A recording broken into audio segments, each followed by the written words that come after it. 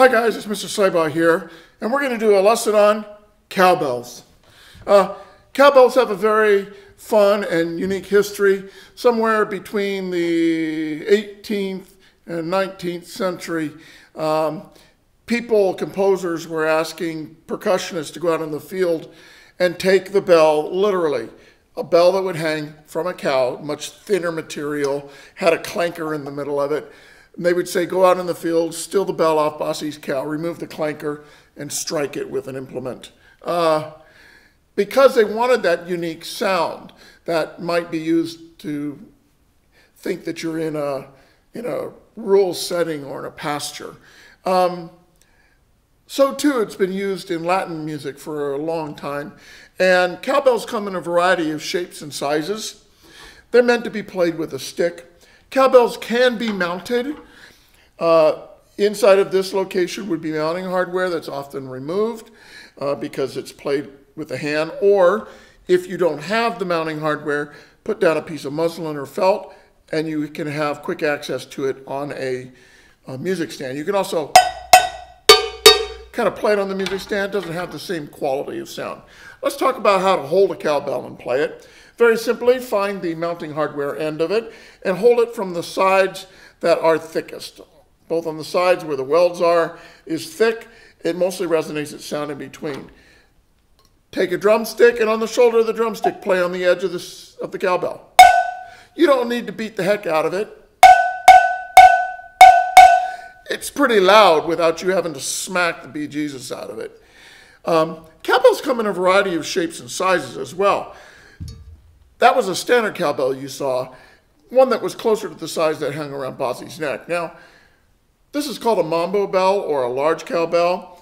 That would be one big Brahma bull that this would hang around. So I don't think this ever hung around a, uh, the neck of a cattle, but I might be mistaken.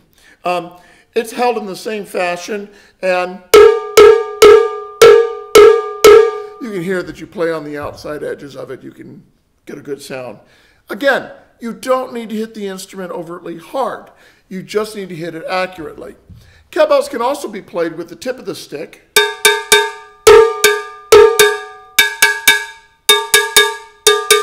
In different pitches as you go in closer to the mounting area so that you can get variance of sound. In Latin passages, you'll play between those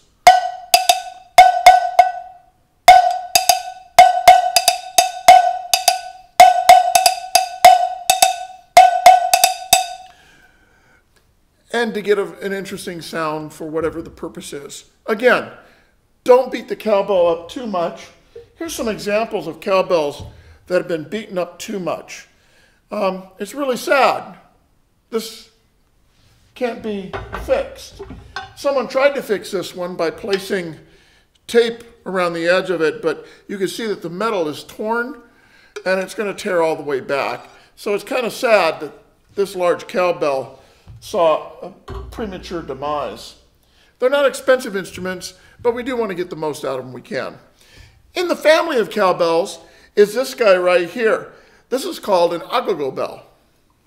And it has two different sounds to it, and also it's on a spring and can be pulled in for the dance style articulations, can be stopped together.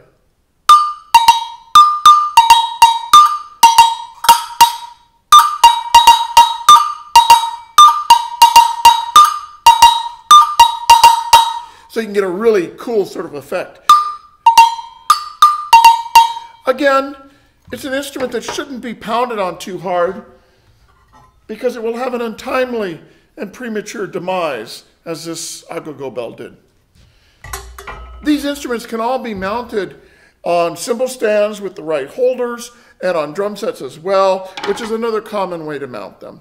Remember the adage that's found in all percussion. If the audience can see it, they can hear it. So make sure that if you have the opportunity to play any of these instruments, that you keep it up high and it adds to the joy.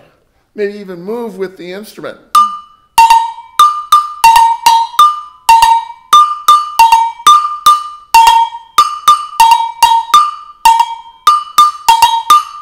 So that the audience can see you move, and I promise you'll get them moving as well.